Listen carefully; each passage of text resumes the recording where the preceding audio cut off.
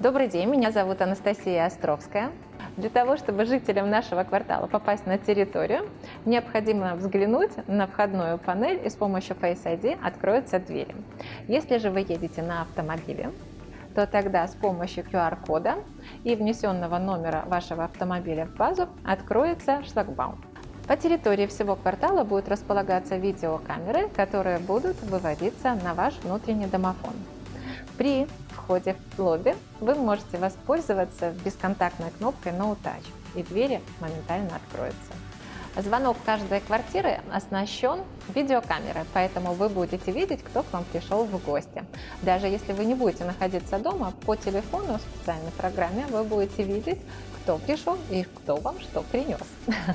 Есть бесконтактная доставка, если вы заказали какие-то продукты э, или товары, которая может вас подождать, когда вы вернетесь с работы. Плюс ко всему, из дома специальной панели вы можете э, запустить ваших гостей с наружной двери, а также из лобби. А, самый часто задаваемый вопрос – как попасть вашим гостям на территорию квартала?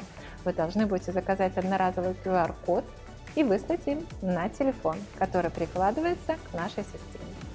На всей территории квартала установлено видеонаблюдение с использованием компьютерного зрения – и выведена на ваш домофон, который находится внутри квартиры. Это помогает вам найти детей на территории квартала и посмотреть, если вдруг заблудились ваши гости.